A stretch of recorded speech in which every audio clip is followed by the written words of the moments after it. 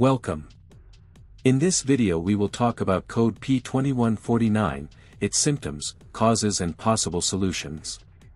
P2149 is a diagnostic trouble code indicating an open circuit in the supply voltage of fuel injector group B.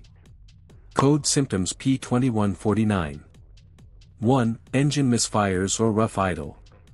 2. Decreased engine performance. 3. Engine stalling. 4. Check engine light illuminated. Causes of the code P2149. 1. Faulty fuel injector. 2. Wiring issue.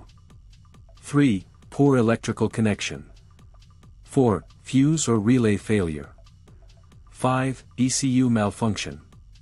Code Solutions P2149 1. Inspect the wiring and connectors in the fuel injector group B supply voltage circuit for any signs of damage, corrosion, or loose connections. Repair or replace as necessary.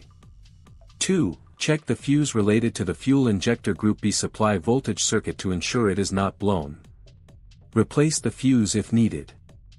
3. Test the fuel injector group B supply voltage circuit with a multimeter to verify that there is voltage present. If no voltage is detected, troubleshoot the circuit to identify and resolve the issue. 4. Reset the engine control module, ECM, to see if the fault code clears. If the code persists, consider reprogramming or replacing the ECM.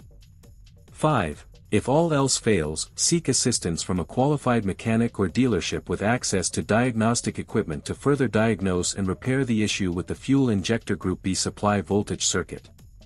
Thank you for watching this video, don't forget to leave a like and a comment, see you next time.